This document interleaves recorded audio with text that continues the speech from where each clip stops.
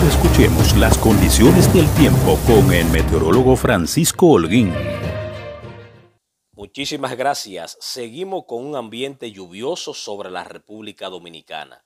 La imagen satelital así lo muestra, mucha energía en el Caribe Central, mucha humedad. Y observen ustedes el panorama meteorológico en cuanto a lo que son las zonas donde se pueden generar tormentas eléctricas prácticamente a nivel nacional. Las lluvias ya han comenzado a generar crecida de ríos, arroyos, cañadas, así que usted tenga precaución si vive en una zona vulnerable. Las temperaturas continuarán calurosas a nivel de todo el país con valores de hasta 33, 34 grados Celsius.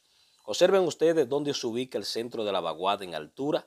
Desde ahí su eje incide en las condiciones locales, mantendrá mucha inestabilidad en el territorio nacional.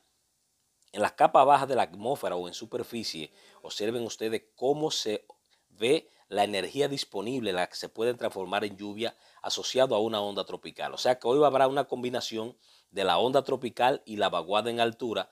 Por eso se observa cómo los modelos incrementan las lluvias de forma significativas. Estará lloviendo sobre la zona este, el centro del país, el nordeste, prácticamente a nivel nacional. Las mayores lluvias estarán hacia el centro del país, la zona fronteriza y también en la provincia del este del país, como también aquí en la capital. Le damos seguimiento a este evento que se espera se pueda desarrollar en los próximos días.